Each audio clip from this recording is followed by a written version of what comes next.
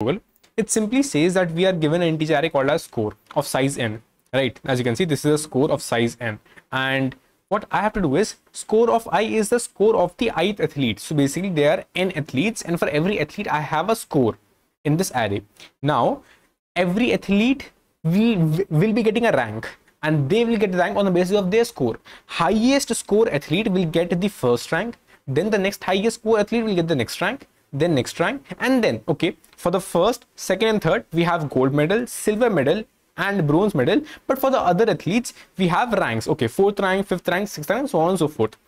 I have to return the answer array of size n, where answer of i is the rank of that ith athlete. And again, rank is base rank is on the basis of their score maximum score and according to the maximum score what at what score number they have at, at, at what rank number they are they will be getting these names or basically the rank itself.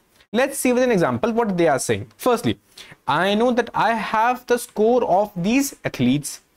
I have to firstly get the scores in the order of maybe decreasing or increasing so that I can find out what is the maximum score athlete, next maximum score athlete, next maximum score athlete and so on and so forth.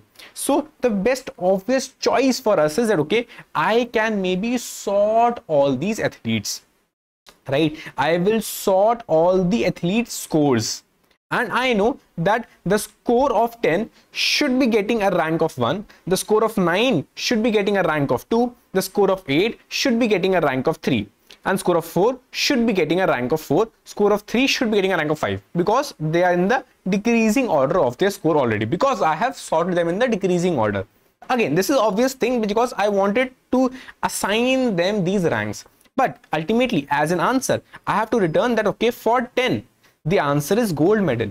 For 3 answer is 5 what is this? Okay for 10 i know it is it was on the index 0 for 10 the rank was 1 so at index 0 i have to put the rank of 1 at index 0 my rank is 1 again i can assign 1 to gold medal 2 to silver and 3 to bronze that i can do separately but this is the basic idea that for score of 3 the, the player having a score of 3 was at index 1. So the player at a score of 3 is at index 1 and he is actually having a score of a rank of 5th.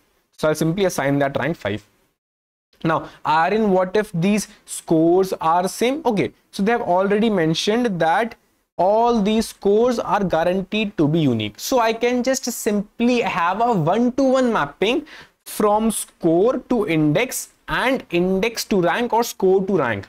So basically it is again this is a very good use case to optimize your answer that one score again one score will have one index only and again that will have only one rank so any way I can assign any one-to-one -one mapping, I will be good to go. That's a very good identification for this problem.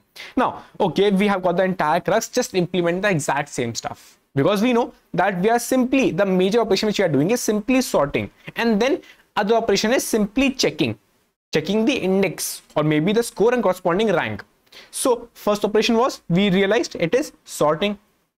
Next operation was iterating on all the scores and assigning them a rank. And third operation was that after getting this rank, actually getting the answer, which means stamping these ranks which you have assigned in the step 2 accordingly to their corresponding indexes. And again, I'm telling you, either I can make a mapping of score to rank, that will also work, or I can make a mapping of score to index. From that index i can also get this specific. Again if i make a mapping from score to index when i am iterating on this rank array i can i can from this score i can get the index and at this index i can place the value of one. No worries i'll show you by the trial also. Now so we know the basic idea basic crux exactly same. We have these scores. Again for just making as a use case i what i saw that okay maybe i can have one-to-one -one mapping between score and indexes. From a score i can maybe get the index. So i made a simple hash map or an unordered map saying for that score this is the index. Okay again i am saying maybe this is useful maybe not. Why i'm saying that? Because i realized that to actually stamp the ranks i only need the score. Because score will be unique for everyone right? So i can either use the index or i can use the score. Both can work. But i'll show you how both will work like how you can use both of them. Now we know that okay we have got this score to index array.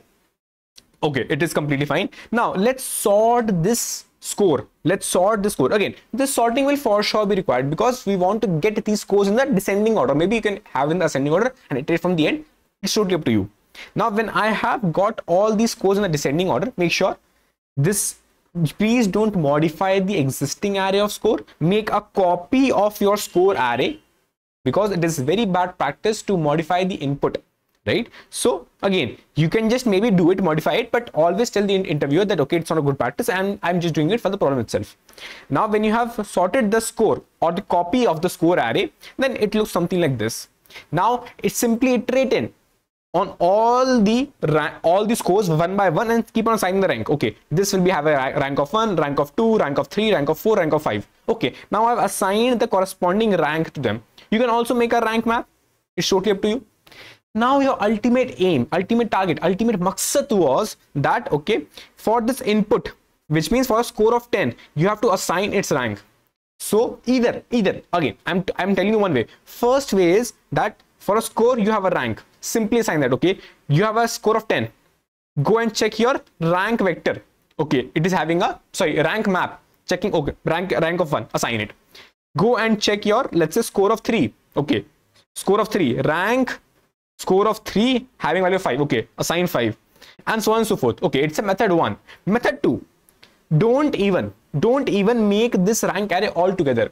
While sorry while iterating on this maximum score as in like the sorted score vector you know that this is having a rank of 1 so for a value of 10 which is for a score of 10 you simply go on to your score to index array.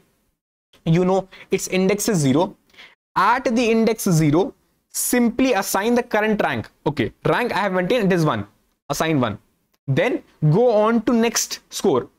Go and find its index. Index is 3 go and index 3 assign the rank of 2 or okay 8 go rank sorry yeah index 2 go index 2 rank of 3 and so on and so forth. So you realized that this will not be required in the option 2 which I told you and also this entire method of post assigning rank will also not be required. So that is how you can do it in both. Again, I showed you both the variations and both the variations are possible just because of just because of that I had one-to-one -one mapping between rank and scores. Cool. Let's see. Let's see. Uh, firstly, I will show you variation number one, which I showed you, but still, I have taken the score to index array, which you will see will not be used in the variation one, which I showed you. So again, firstly, uh, as you know that for the rank of 1, 2, and 3, they have the special names. So that's the reason I just simply assign special names to those ranks. Gold, silver, and bronze. Special names. I, I show you how I'll use it, but then I iterated on the indexes as in all the scores and assign them their corresponding index. For this score, this is their corresponding index. Okay. Now again, this will not be used in the variation one. Now I will make a copy score. I will sort that copy score in the decreasing order and then make a rank map which means I will simply iterate on this decreasing order of scores. For the first score, I'll assign the rank, and then for the next score, I will increase it by one. Then again, it is iterating and assigning the rank correspondingly, as I showed you in the dry run also. Now, simply, ultimately, in the end, your main task is to get the answer. Answer for answer again, answer is saying that for this corresponding for this corresponding score, what is the actual rank? So either you can use the index or you can use a score.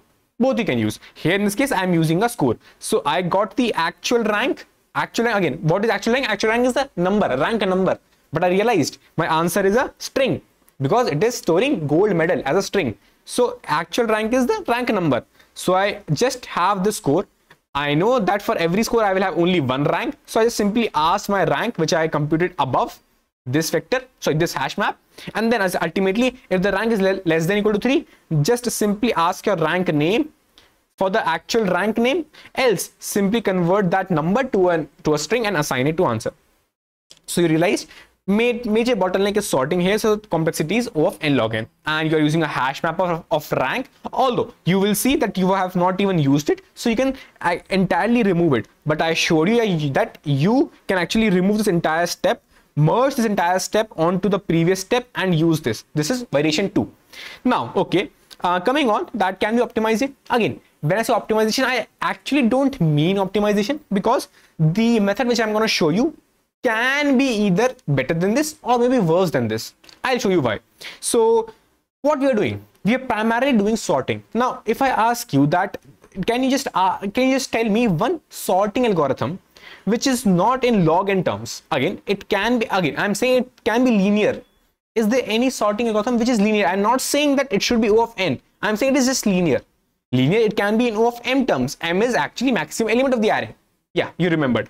It is simply how we do a counting sort a similar way that earlier i was having this score i was keeping the indexes right? Now this indexes I was keeping track of maybe to get the answer or stuff but now if I want to sort it I will simply take the maximum element of the array and again this I will make a score to index array which will say okay this is the score and I have put the corresponding index. By default others I will place as minus 1 minus 1 minus 1 minus 1 minus 1 minus 1 minus 1 what this will tell me again? This is actually sorted. How? Because it says that if I iterate from the end the first index I will get is a 0 then index of 3 then index of 2 then index of 4 then index of 1 as you can see it is sorted. So although you will see the time complexity for this will be the entire array length. And this will be the bottleneck on the basis of the maximum element of the array. So it is kind of you're using an array to know the occurrence of an element or you can also say you are using an array to store the index of an element which in turn will help you to actually find okay if it is extreme if it is okay if it is far away which means it has a higher score. Because score is the index and higher the index higher the score. And corresponding index is actually storing the corresponding sorry corresponding to score is storing the corresponding index. Now what I will do? Simply the same way I was doing earlier. I will iterate from the end which means from here okay?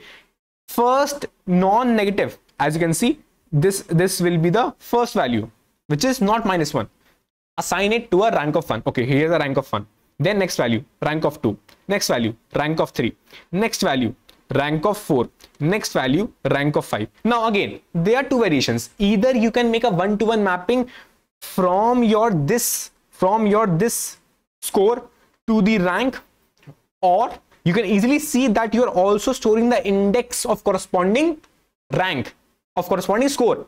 So again one way is you can either take this score to rank and then use it use it later on to actually plot it the way we are doing earlier or you know that right now you also have the index with me so you know at index 0 i will simply place a rank of 1 index 3 i'll place a rank of 2 Index 2, I'll place a rank of 3. Index 4, I, can place a rank of 4. Index 1, I can place a rank of 5. This is also the way you can do it. Cool. Now let's see the code again. It's pretty simple, exactly same. Firstly, I again this is exactly same.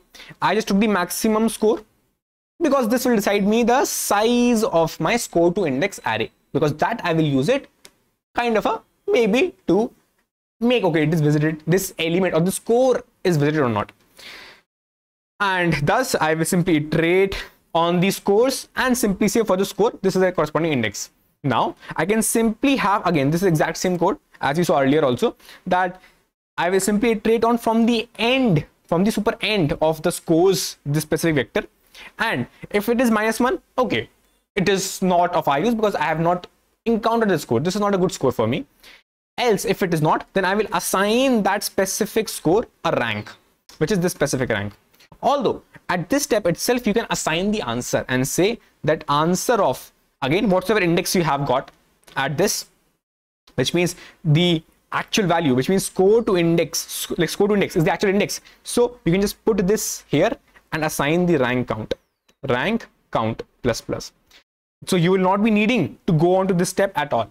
That's also but yeah i made it simple for you to understand how things can work or are working for you to optimize the code.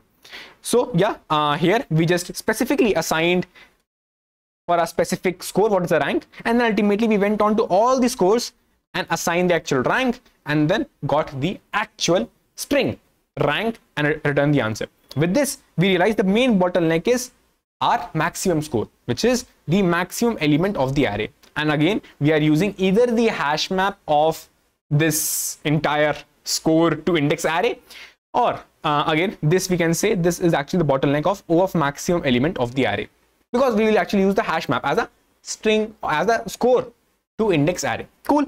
Again, this can be useful considering of n log n is large, but in in many cases this will actually be less uh, optimal than your previous approach because it will be always O of n log n. Now this will be based on the maximum element and maximum element is actually always will always be more than equal to n. So that is the reason I was saying that the above approach again if both O of m and n are equal then this is optimal. If not then the above one is optimal. Cool. Bye bye. Take care.